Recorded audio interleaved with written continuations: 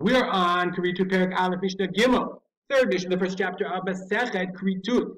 Now we call it Masechet Keritot, but the Kehati points out that maybe he didn't say this, but maybe we should call it Masechet Korbanot, Masechet Chatat, really, because from now until for a while, the Mishnah turns its attention to now that we've listed 36 types of korbanot. We said that if you do most of them b'shogeg, almost all of them b'shogeg, you're chayiv a korban chatat. So now the Masechet Reish Dinim to explain all the rules of all these korbanot chatat. And the first korban the Mishnah talks about is, is we're going to see the korban of the yoledet, the woman who gives birth.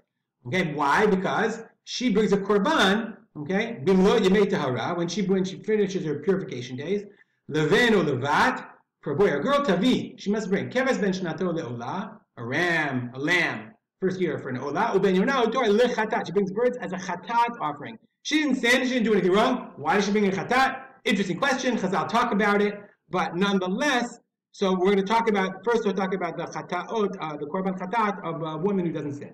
Says the Mishnah, Yesh meviot korban v'nechal. Some women bring a korban and the korban is eaten, meaning it's a full korban. Meviot eh, eh, nechal. Some women bring korban and it's not eaten. Why is not eaten? Because we're not sure that she's chayev in a korban, but we allow her to bring a korban even b'safek.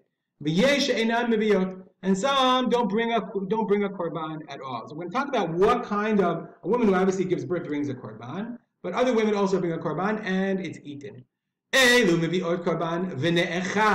Okay, these have to bring a korban and are eat and it's eaten. Kimin behema chayat va'of. Okay, if a woman gives uh, uh, has a miscarriage, she miscarries. Obviously, if it's a child, if it's a human form, but even if it has the form of an animal, or even a bird, okay, they are yitzirot. They are they are born. They are created. Even if it looks not like a child, obviously in different stages of development, if the animal, if the fetus was not viable, it would look different. So even if it looks like a behema chayav of an animal or a bird, Rabbi Meir, she, Rabbi Meir says she's still chayevet to bring a korban and it's eaten. Chachamim say no. Ad mitzurat ha'adam. It has to have the tzurat ha'adam. It has to have the form of a human being. Hamapelet sandal. If she uh, miscarries a fetus and it looks like a sandal, sandal was a shoe.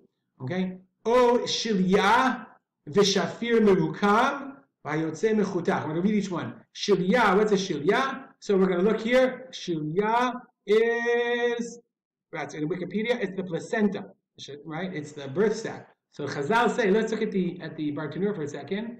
Ein shilya below vlad. There's no placenta without, even if you can't find it, if you see the placenta, if she had a placenta, then there was a vlad, so that's a real miscarriage, she has to bring a korban. The shafir merukam, shafir merukam, eh, shafir is like a kind of cylinder. So uh, um, if we look over here, what's a shafir merukam? You look at Wikimilon, so the word the word has a lot of different interpretations, but Shafir Merukam, the Rambam says, according to the Rambam, the Torah, Chilat Briyato Shel Adam, Gufoka Adasha, as the beginning of the creation of a human form, and it's like the size of an Adasha, a lintel. And it, it, there's like a there's like there's a tiny um, uh, shafir can refer to like a cylinder kind of thing that holds this baby. Okay, and obviously she she miscarried.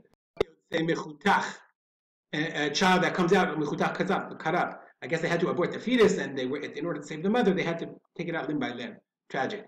Same is true of a shivcha kenanit, uh, a maidservant. She's chayavet in mitzvot like an ebed. Okay, she's chayavet in all the mitzvot. You might think, well, since it doesn't apply to an ebed because he can't miscarry, maybe not. No, shivcha. If a shivcha miscarries, maybe a korban. She also brings a korban, and it is eaten. Stop here. Dedicate our learning to memory of Tipara Bashmuch Moshe Udvar Make it a great day.